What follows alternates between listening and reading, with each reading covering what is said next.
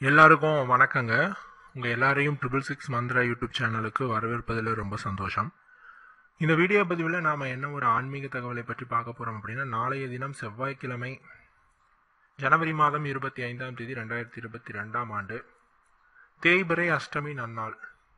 தேய்பிரை அஷ்டமினாலே பைரவமூர்த்திக்கு மிகவும் உகந்த ஒரு திருநாள். இந்த நாளிலே அவசியம் இந்த நேரத்தில் உப்பை கொண்டு போய் இங்கே வெய்யுங்கள் மிகப்பெரிய அளவில் அதிர்ஷ்டம் உங்களை வந்து சேரும். கோடீஸ்வர யோகமும் கிடைக்கும். அது என்ன அப்படிங்கிறத பற்றி இந்த வீடியோ பதிவில் விளக்கமாக பார்ப்போம். இப்பதிவை முழுமையாக காணுங்கள். அப்பொழுதுதான் இந்த வீடியோவில் சொல்லக்கூடிய தகவல் உங்களுக்கு நன்றாக தெரியும். அதாவது அஷ்டமி. அதில் தேய்பிரை அஷ்டமிங்கிறது சிவனினுடைய அவதாரங்களிலே மிகவும் சிறப்பு கொண்ட சக்தி கொண்ட அவதாரம் என்று சொல்லக்கூடிய பைரவ அவதாரம் உருவான ஒரு நாள் இந்த தேய்பிரை அஷ்டமி திருநாள். இந்த தேய்பிறை அஷ்டமியிலே நாம் பல்வேறு விதமான வழிபாட்டு முறைகளை செய்கிறோம். நாம் அதில் செய்யக்கூடிய முக்கியமான வழிபாட்டு முறை சொரணா கிருஷ்ண பைரவர் வழிபாடு. சொரணா கிருஷ்ண பைரவர் அதாவது பைரவரினுடைய வடிவங்களிலே செல்வத்தை அள்ளி கொடுக்கும் வடிவம் மற்றும் அஷ்டலக்ஷ்மிகளுக்கே செல்வ வளத்தை கொடுக்கக்கூடிய ஒரு அவதாரம் என்றால் அது சொர்ண ஆக்ருஷ்ண பைரவ அவதாரம்.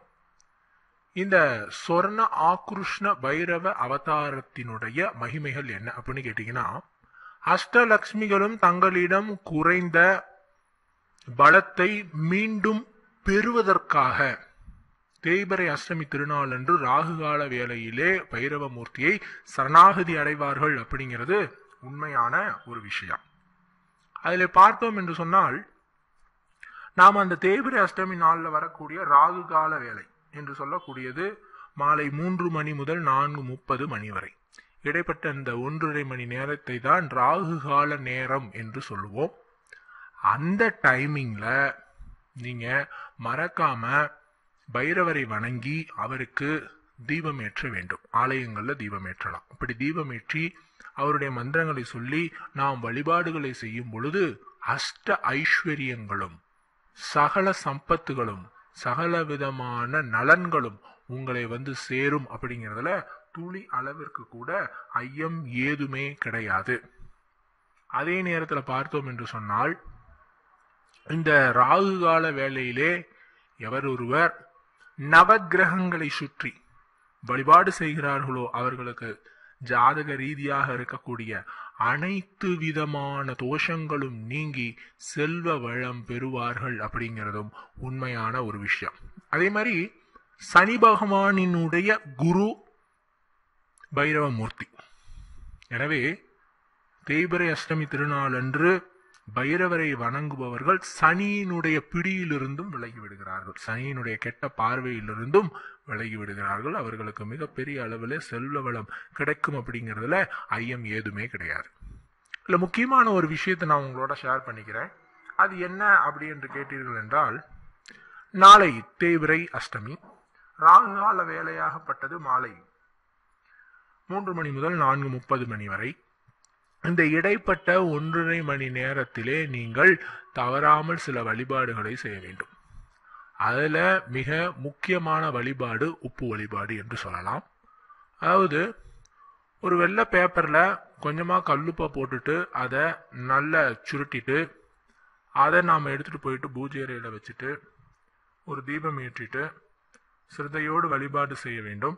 அப்படி செய்த பிறகு மாலை வேலையில் ஒரு ஆறு மணிக்கு மேலே அந்த உப்பு பொட்டலத்தை எடுத்து உங்களோட தலையை வலது பக்கம் மூணு முறை இடது பக்கம் மூணு முறை சுற்றி தண்ணீரிலோ அல்லது எரியக்கூடிய தீயிலோ போட்டு பொசுக்கி விட வேண்டும். அல்லது தண்ணீரிலே கரைத்து விட வேண்டும். இவ்வாறு செய்ய அனைத்து விதமான திருஷ்டிகளும் அனைத்து விதமான தோஷங்களும் உங்களை விட்டு அகலும் அப்படிங்கிறதுல எந்த விதமான ஐயமுமே கிடையாது. இதை நாம நாளைய நாளில் நாம செய்யணும். அற்புத பலன்களை நீங்கள் எதிர்பார்க்கலாம்.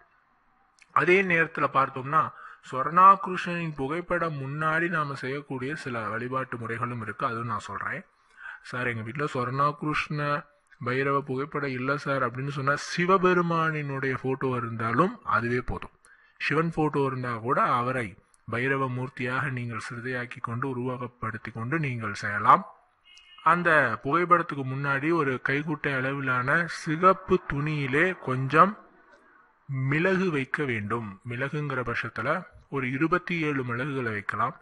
ஏன் இந்த இருபத்தி ஏழு என்ற எண்ணிக்கை அப்படின்னு கேட்டிங்கன்னா நட்சத்திரங்கள் இருபத்தி ஏழு. உங்களுக்கு தெரியும் பைரவ மூர்த்தியினுள் பன்னிரெண்டு ராசிகள் பஞ்சபூதங்கள் இருபத்தி ஏழு நட்சத்திரங்கள் நவ கிரகங்கள் அப்படின்ட்டு அனைத்துமே அடக்கம். அப்படிங்கிறதுனால சகல விதமான சக்திகளும் அடங்கிய பைரவ மூர்த்தியை அனைவரும் வழிபாடு செய்கிறோம் அந்த வழிபாட்டிற்குரிய நல்ல பலன்கள் கிடைக்க வேண்டும். எனவே நட்சத்திரங்களின் அனுகூலங்களால் உங்களுக்கு இருக்கிற கிரக பாதிப்புகள் விலக வேண்டும் என்று நீங்கள் விரும்பினால் இருபத்தி ஏழு மிளகுகளை நீங்கள் அந்த சிகப்பு துணியிலே வைக்க வேண்டும். அதோடு கொஞ்சமா பச்சை கற்பூரம் அந்த பச்சை கற்பூரத்தையும் நன்றாக இழுத்தி பொடி செஞ்சு அதையும் நாம் வைக்கணும் வச்சுட்டு அதை ஒரு மூட்டையாக கட்டிக்கணும். இதை கட்டிட்டு நாம் கண்டிப்பாக ராகு கால வேலையில் பூஜை அறையில் வைக்கணும். இப்படி வச்சு நாம் வழிபாடு செய்கிற பட்சத்தில் சகல விதமான தீவினை சக்திகளும் நீங்கி வீட்டில் ஐஸ்வர்யம் தாண்டவமாடும் பணப்புழக்கம் அதிகரிக்கும் பணம் பல மடங்கு சேரும். செல்வ வளம் இப்படிதான் சேரணும்னு சொல்ல முடியாது. அந்த அளவுக்கு பணப்புழக்கம் பல மடங்கு சேருங்கிறதுல ஐயம் ஏதுமே கிடையாது. அதே மாதிரி பல பேருக்கு ஒரு சந்தேகம் இருக்குது சார் வீட்டில் வந்து வாசன திரவியங்கள்லாம் வாங்கி வைங்க அப்படின்னு சொல்கிறீங்க அது ஜவ்வாது புணுகு அரகஜா இந்த மாதிரியான வாசனை திரவியங்களை வாங்கி வைங்க அப்படின்னு சொல்கிறீங்க அதை வாங்குவதற்கு உகந்த நாள் தேய்பிரி அஷ்டமி ராகுகால வேலை என்பதை நீங்கள் மறந்துவிடக்கூடாது. இப்படி அபிஷேக பொருட்களை நீங்கள் வாங்கி வச்சு வழிபாடு செய்யறது மூலமாகவும் உங்களுக்கு பலவிதமான நன்மைகள் கிடைக்கும். அதே நேரத்தில் சிவனுக்கு அபிஷேக பொருட்களை இந்த தேய்பிரை திருநாளன்று திருநாள் அன்று ராகுகால வேளையில வாங்கி கொடுப்பதன் மூலமாக அளவில்லாத நன்மைகளை பெறலாம். சிவபெருமானுக்கு பசும் பால் பன்னீர் இளநீர் ஆகிய பொருட்களை அபிஷேக பொருட்களை வாங்கி கொடுத்து அந்த பூஜையில வழிபாட்டில் கலந்து கொண்டீர்கள் என்றால் அற்புதமான நன்மைகள் யாவும் கிடைக்கும். சகல விதமான கடன்களும் தீரும். கடனெல்லாம் தீரும். நான் சொன்ன அந்த மிளகு பச்சைக்கல் பூரம் இதை கட்டி சிவப்பு துணியில் பூஜை அறையில் வச்சாலே கடன் பிரச்சனைலாம் தீரும். இது ஒரு ஒரு மாதம் ரெண்டு மாதத்துக்கு ஒரு முறை சேஞ்ச் பண்ணிக்கலாம். உள்ளே இருக்கிற பொருளை எடுத்துட்டு பூச்செடி கடியில் போட்டுட்டு மறுமுறை அதே துணியை பயன்படுத்தி நீங்கள் நீங்கள் வந்து பொருட்களை போட்டு நீங்கள் மறுபடியும் பயன்படுத்தலாம். சகல விதமான நன்மைகளும் கிடைக்கும். உங்களுக்கு போதும் என்ற அளவிலே சகல விதமான நன்மைகளும் கிடைப்பதற்கு இது ஒரு அற்புதமான வழிமுறையாக இருக்கும். அவசியம் நீங்கள் செய்து பாருங்கள். நல்ல பலனினை அடைவது என்பது உறுதி. கண்டிப்பாலும் இப்பதிவு பயனுள்ள பதிவாக இருந்திருக்கும் என நம்புகிறோம். நன்றி வணக்கம்.